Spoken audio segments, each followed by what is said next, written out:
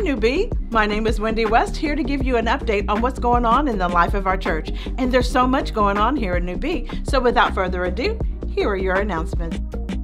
It's finally here. Pastor Jackson Silver Gala is this Friday. Hey, if you can't make it, that is fine. Pastor's partners will be in the lobby today after each service collecting notes and tokens of appreciation for Pastor. This is a reminder that tickets are no longer available or will be sold at the door.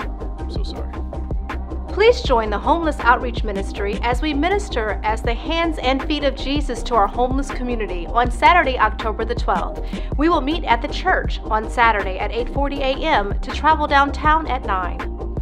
The next dedication of our precious babies will be on Sunday, October 13th. Register your child at newbindy.org no later than Wednesday, October 9th to be included. The dedication will follow the welcome of our visitors at the 12:45 p.m. service.